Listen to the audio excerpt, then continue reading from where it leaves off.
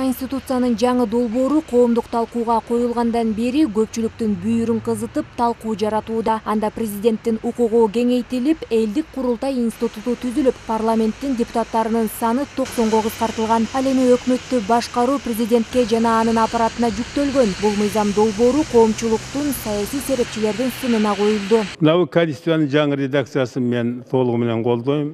Бул боюнча бизде тажрыйба көп. Ошондуктан менин оюмча азыр мамлекеттин башчысынын укугун кеңейтиш керек колдон келишинче кеңейтиш керек бирок бул кеңейтүү деген диктатураны айтпайт бул кеңейтүү деген ошол киши жанакы жогорку кеңеш менен аткаруу бийлиги менен сот бийлиги менен чогуу иштеп элдин курултайы айткан сунушун угуп мамлекеттик алдыга жылдыш керек биз өзүбүз өнүшүш керек.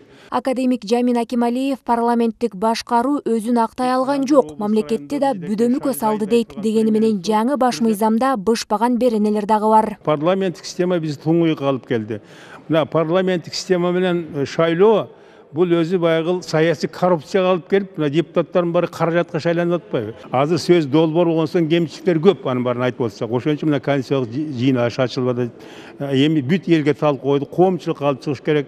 Массалык маалымат каражаттарына баарын ойлорун топтоп туруп ошону иштеп чыгып анан кайра эң этегинде жакшы бир вариантты даярдап анан буюрса онунчу январда референдум коюш керек эми жүрүп отуруп миң талашсак дагы миң сын айтсак да эл чечет да бүгүнкү күндө конституциянын сунушталган редакциясы коомчулукта кызуу талкуу жаратууда коомдук активисттер жана юристтер бул өзгөртүүлөргө каршы экендигин билдирип нааразычылык акцияларына чыгып жатат тыйындын да эки тарабы бар дегендей баш мыйзамдын жаңы долбоорун колдогондор да жок эмес для народа.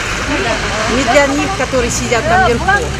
Думаю так. Мен азыр жаңы түзүлгөн конституцияга макулмун себеби өзгөртпөсө болбой калды. Бир да иш болбой атат эч жакта баары ким кааласа ошону жасап атат да. Кайсы организация ким келсе ошону жасап атат. Макул макул макул конституциянын долбоорун ар тараптуу талкуулап бирдиктүү пикирге келишүү үчүн жыйырманчы ноябрда конституциялык кеңешме түзүлгөн. анын курамына илимпоздор жарандык коомдун өкмөттүк эмес уюмдардын өкүлдөрү укук таануучулар депутаттар эксперттер жана башкалар кирген нурай кайратова самат асанбай уулу ств